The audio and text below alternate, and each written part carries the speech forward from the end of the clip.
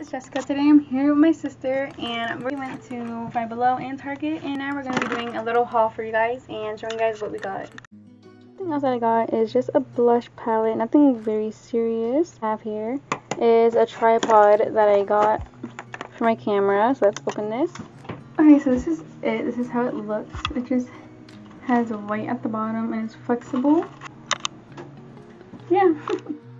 Alright, so now I'm going to put in the little scanning codes I got from Roblox onto my Roblox account and see what I got. So this is the items that I got. I'm going to screen record it and or take a screenshot and show you guys what I got on the screen. Here it is on the screen right here and here is the magical purse thing right here.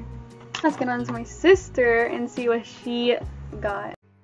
Okay, so I got a Roblox toy, which is like this cube thingy and there's like a Roblox girl head. It's not focused, focusing as well, but okay. But now let's open this and see what we can get inside.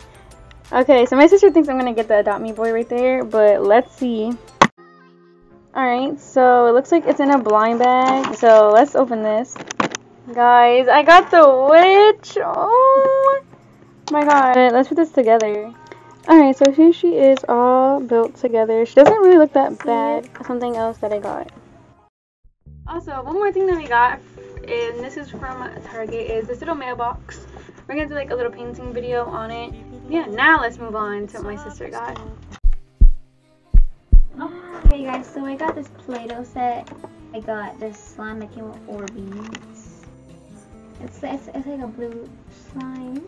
Okay, so I got this nail set they get to like put like this stuff like on your fingers and you like put glitter in here and like shake it. Yeah it's kind of confusing. And i got a mailbox and as well and as my got these gloves nothing all that but gloves. yeah so i hope you liked our um target slash um five below haul. And make sure to give this video a like and subscribe. And to comment down below if or like what scary game I should play since I might be doing that for my next video. Um, but yeah, stay tuned. Bye!